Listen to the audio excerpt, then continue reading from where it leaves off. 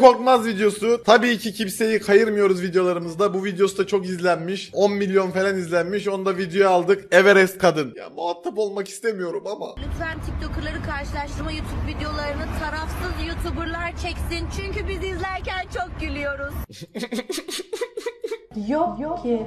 Tarafsız olmadığımı söylemiş. Haklı. Yani her TikToker'ı seveceğim diye bir şey yok ki. Ben en güzel içerik yapanları beğeniyorum. Bakalım ne yapmışsın.